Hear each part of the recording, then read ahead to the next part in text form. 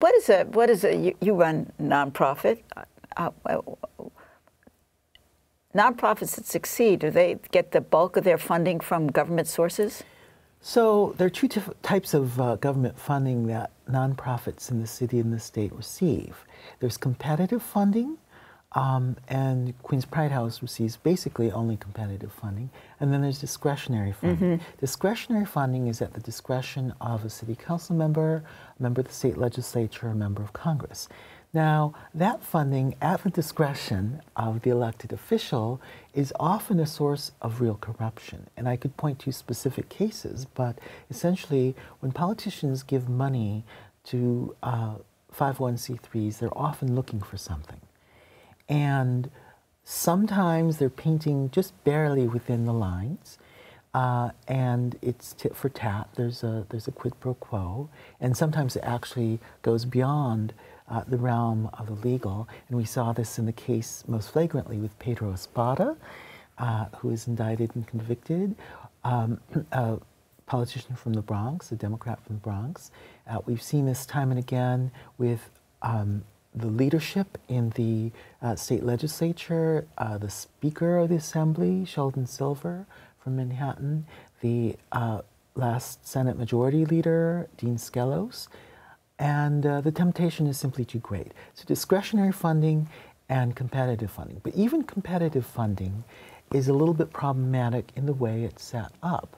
Uh, nonprofits in this uh, city and in this state can all compete for funding from various different types of organizations. Uh, one of the problems with LGBT organizations is they get so little of it. Do you know the percentage of funding from all sources, both government and private foundations, uh, that LGBT specific organizations get in the US? It's one tenth of 1%. Mm.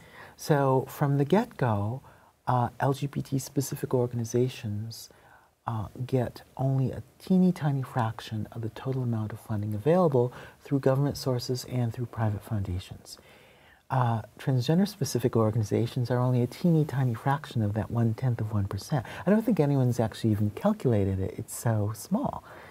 Uh, then, when you look at the needs of LGBT people of color, LGBT immigrants, for example, um, which are constituencies that Queens Pride House serves, um, at least half of our clients are people of color and or immigrants, uh, many of them very recent immigrants. Uh, the amount of funding available for those uh, populations is inadequate to the task at hand. Uh, there's also a tremendous amount of bureaucracy and red tape. I remember one city council member once offered NYAGRA, my organization, the New York Association for Gender Rights Advocacy, a small grant through uh, the Department of Youth and uh, Community Development. It was a very small grant, it was about $3,000. Um, I looked at the paperwork and ultimately decided not even to pursue it because the amount of paperwork was so mm. onerous in relation to this really small grant that it frankly was not worth it. So there's a whole bunch of impediments. There's a whole bunch of uh, structural impediments to LGBT organizations, especially those serving people of color, to get adequate funding. Then you throw in the fact that the discretionary funding is often um, with strings attached, uh, is often used or even manipulated by uh, elected officials. Like a string. Can you give me an example of a string?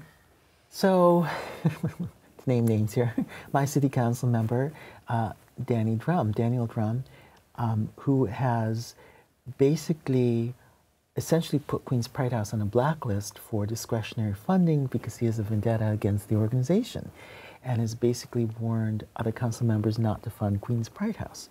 Instead, he's diverted funding that would have gone to the only LGBT community center in the borough to other organizations to do LGBT uh, related work. Um, and uh, Make the Road New York is one recipient of his funding, his discretionary funding.